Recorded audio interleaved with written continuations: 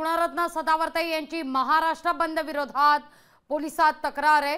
बंद पुकारणं हे बेकायदेशीर असल्याचं सदावर्ते या तक्रारीत म्हणताय बंदचा महाराष्ट्राच्या जी डी पीवर परिणाम होणार असा ईमेलच्या माध्यमातून पोलिसांकडे तक्रार करण्यात आलेली आहे. तर उद्धव ठाकरे यांच्या ट्विटचा देखील या ठिकाणी